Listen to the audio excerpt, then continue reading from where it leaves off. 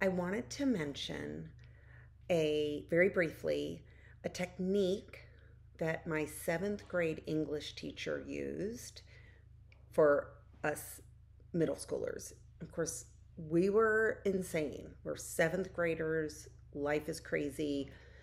And this woman was amazing. She was a, um, she was probably close to retirement. She'd been teaching forever.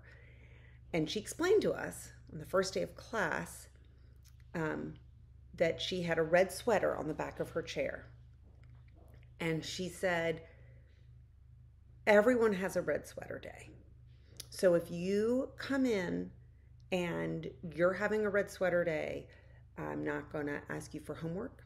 I'm not going to ask you to show your classwork. I'm not going to ask you for anything. I'm just going to leave you alone.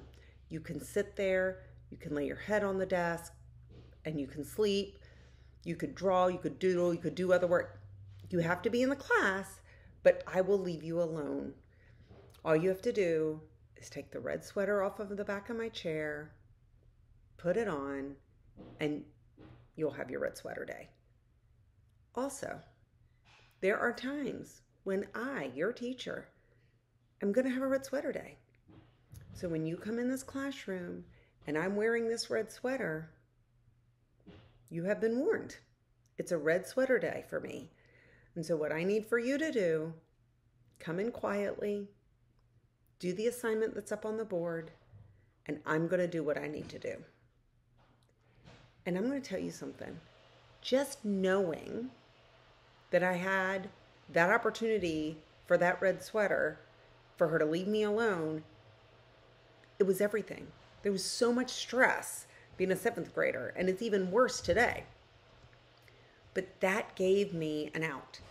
And it gave her an out. And she did. I remember she had Red Sweater Day. We were like, mm, we were so good that day. So I want to encourage you to teach your child about Red Sweater Days.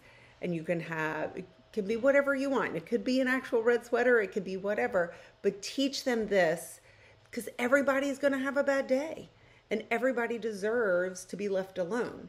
There's nothing worse than, why aren't you smiling? Well, you should have so much to be grateful for.